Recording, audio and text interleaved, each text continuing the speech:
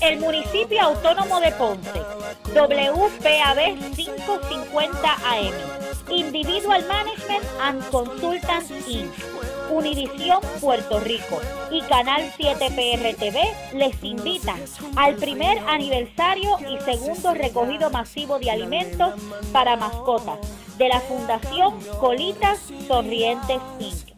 Domingo 23 de febrero en La Guancha en Ponce, de 9 de la mañana a 5 de la tarde, con la actriz y comediante Suzette Bacó, el ganador de los premios Paoli Bless, Luis Guillermo, Sos Dance Crew, Belén Velázquez, Angeli Pérez Santos, Baby Princess Puerto Rico 2014 y muchas sorpresas más.